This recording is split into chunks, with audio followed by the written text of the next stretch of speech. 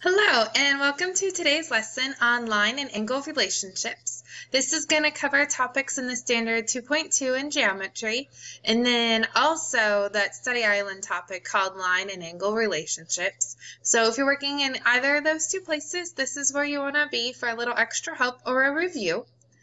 Um, once again, this lesson, there's going to be vocabulary words that you're going to want to know. And such as supplementary and complementary and linear and vertical angles. So the when you read those words in geometry problems, you just need to know what they mean. It makes the problem much, much easier.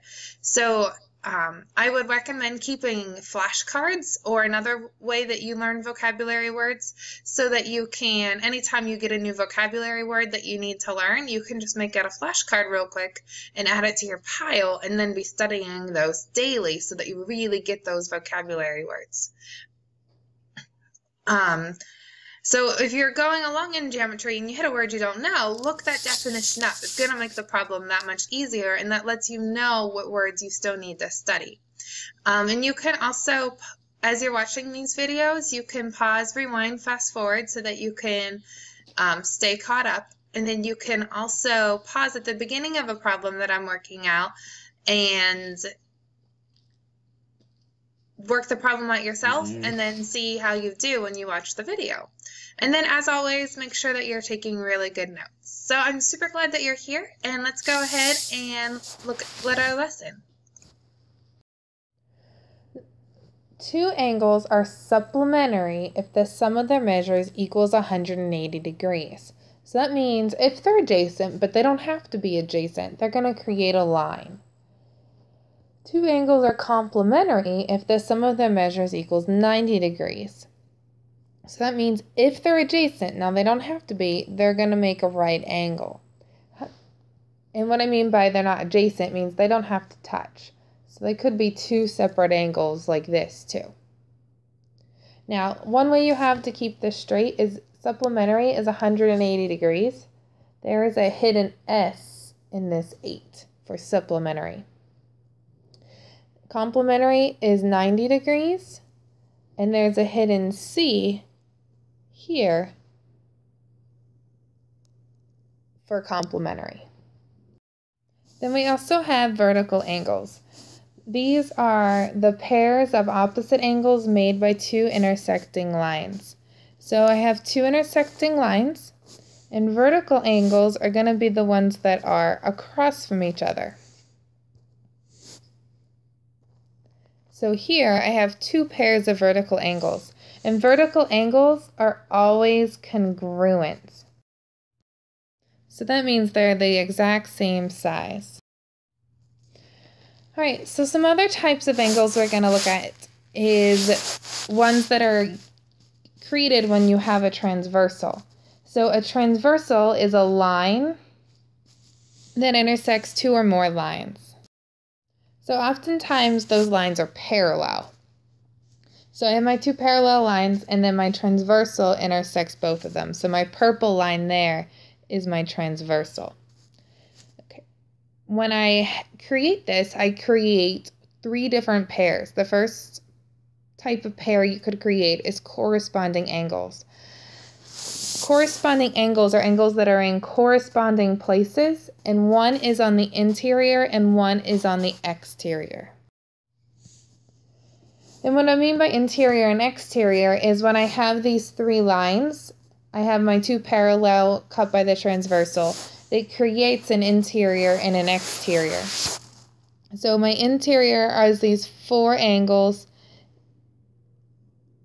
in between the two parallel lines, and my exterior is these four angles outside of the parallel lines.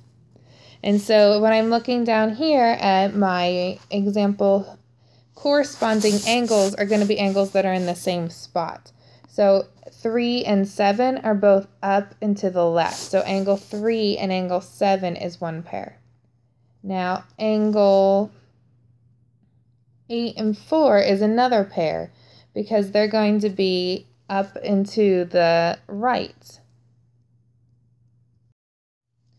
Angle 5 and 1 are going to be another pair because they're down and to the left, both of them, from the intersection.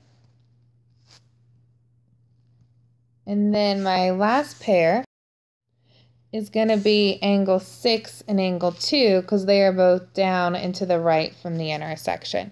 So when you have corresponding angles, you're always going to have four pairs of them, and they're going to be congruent when you have parallel lines.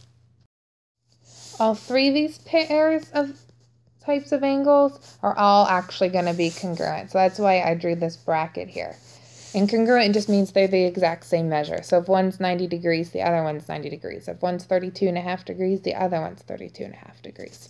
So our next example is alternate interior angles, and these are angles in the interior that are on opposite sides of the transversal. So my interior angles here are 5, 6, 3, and 4. 5 and 4 are on opposite sides, so that's one pair. 3 and 6 are on opposite sides, so that's another pair. And the last type is alternate exterior angles, and these are angles in the exterior that are on opposite sides of the transversal. So the angles on the exterior are 7, 8, 1, and 2. 7 and 2 are on opposite sides of the transversal, and 8 and 1 are on opposite sides. So those are going to be my angle pairs that are congruent. There's always two of these ex alternate exterior angles, and there's always two of these alternate interior angles. And this is a picture that shows you all three. So we have two pairs of alternate interior, the purple and the black. We have two pairs of alternate exterior, the blue and the pink, and then we have four pairs of corresponding, the pink, the blue, the purple, and the black. Go ahead and look at some notes. We have angles A and angle B are complementary. So complementary, 90 degrees. If angle A is 34 degrees, what is the measure of angle B? Well, I know together they have to be 90. So if I subtract 34 from 90, that gives me 56 left over for angle B, so my answer is D. Okay, the measures of two complementary angles are 4x plus 10 and x plus 8. What is the measure of the smaller angle? Well, I, first I need to solve for x. And so complementary, I know that means they add to 90 degrees. So I'm going to take 4x plus 10, add it to x plus 8, and I know those two angles equal 90 because it's complementary and I'm just going to have to solve. So my first step is to combine like terms. I have two x's and they're on the same side, so I'm just going to add them as they are. So they're on the same side, they stay the same. 4x plus a single x is 5x. And then I also have 10 and 8 on the same side to combine. 10 plus 8 is 18. And that still equals 90. And now it's a two-step equation. So I'm going to subtract 18 from both sides. And that leaves me with 5x equals 72. And then I'm going to divide both sides by 5. And I see that my answers are in decimals, so I'm going to go ahead and do 72 divided by 5, and that's 14.4. Now, this is what x equals, not what the measure of the smaller angle equals. I have to go and find the measure of the smaller angle. In looking at these two, you could calculate them both, but I can tell that this one's going to be the smaller angle because there's less being multiplied and added. However, if you're not sure, figure them both out. There's no harm in that. So I know x plus 8, but I now know that x is 14.4, and I'm going to add 8 to that, and that's going to give me 22.4, which is the measure of the smaller angle. So my answer here is A. Now here's one that's very similar, only now I'm dealing with supplementary. So that means it's going to be 180 degrees. So I have 4x plus 4 I plus the 6x plus 10 Now I know when I add these two angles, they're going to equal 180 because they're supplementary. So I'm going to go ahead and combine like terms. I have a 4x and a 6x. They're on the same side. So I'm going to keep them the same when I add them. So that 4x plus 6x is 10x. And then I also have a 4 and a 10. They're also on the same side, so I'm going to keep them the same when I add them. 4 plus 10 is 14. That equals 180. And now I have a two-step equation, so I'm going to subtract 14 from both sides. These cancel, and I'm left with 10x equals 180 minus 14 is 166.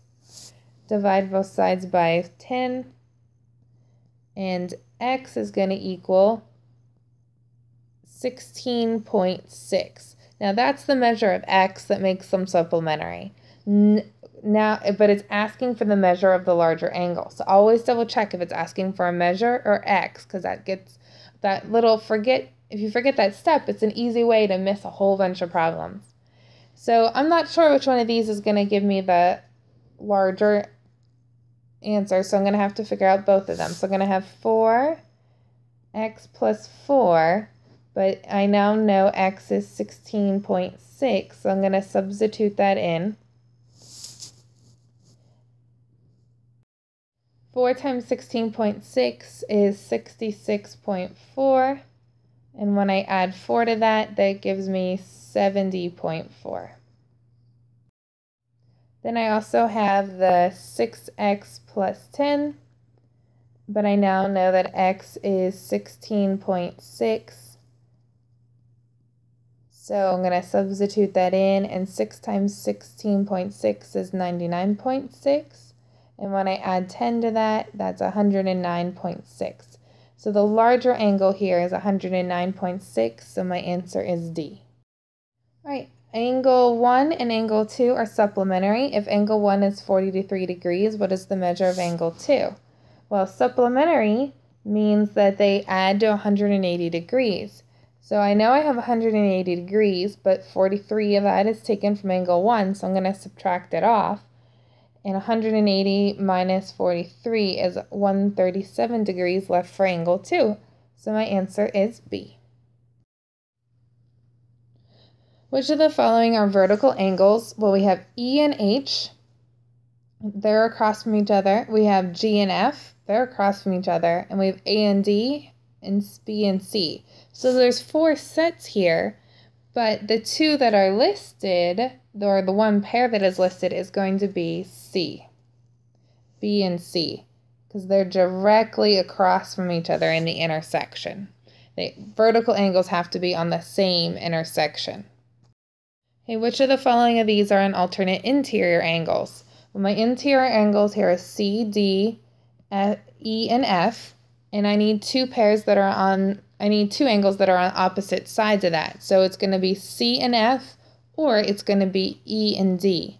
And the pair that they list, list here is going to be B, D, and E.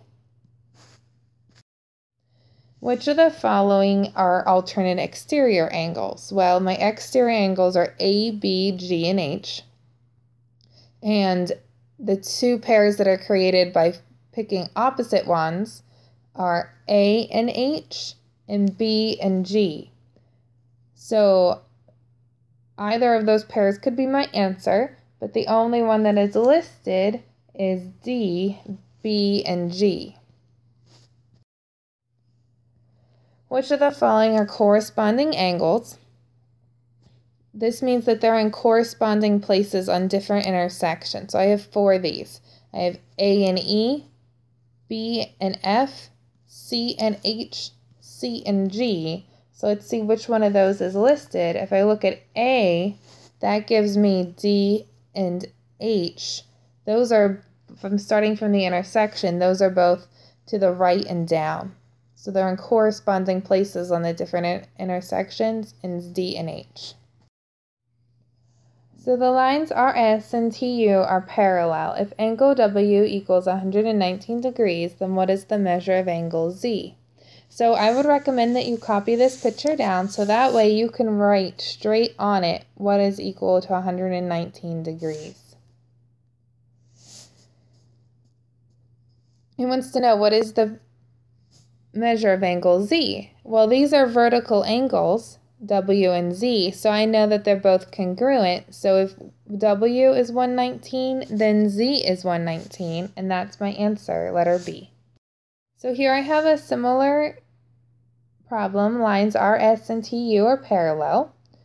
If angle W equals 129 degrees, then what is the measure of angle P? So I'm going to write 129 here so I can see it. And it wants to know what is angle P. Well, W and P are alternate interior angles. And I know when those lines are parallel, that makes these two congruent. So if W is 129 degrees, then P is 129 degrees. So my answer is B. Okay, another similar problem. I have two parallel lines and it wants to know if angle M is 118 degrees, what is the measure of angle Z? So when you copy it down, you're going to write 118 degrees by M, because that's what the problem tells us, and it wants to know what is Z. Well, M and Z are alternate exterior angles, and I know those are congruent when I have parallel lines. So if M is 118 degrees, then Z is 118 degrees. So my answer is C. If lines RS and TU are parallel, and the measure of angle M equals 115 degrees, what is the measure of angle W? So once I copy down this picture, I'm going to write 115 by angle M, and I'm going to put a question mark by angle W. And once I do that, I see the two angles I'm working with are corresponding angles. They're both left and up from the intersection, and I know corresponding angles with parallel lines are congruent, so I know both of these are 115 degrees, so my answer is D. The line F and G are cut by the transversal G. The measure of angle 2 equals 4x plus 45, so I know something about this angle. And the measure of angle 7 is 8x minus 7, so I know something about this angle. What value of x will show that the lines f and g are parallel? Well, if they're going to be parallel, then I need all my special angle pairs to be true. 7 and 2, those angles are alternate exterior angles. So that means I need these to be congruent. So that means I need to find the x that when I set these two expressions equal to each other is going to make that true. So I'm going to set up the equation 4x plus 45 equals 8x minus 15. So I'm going to start solving that by combining like terms. I have two x terms, but they're on opposite sides, so I can either bring the 8x over or the 4x over. I'm choosing to bring the 4x over because it keeps things positive. But when the 4x switches sides, it has to switch signs, so I'm subtracting 4x from both sides. These four x's cancel, and I'm left with 45 equals 4x minus 15. So next I'm going to add 15 to both sides.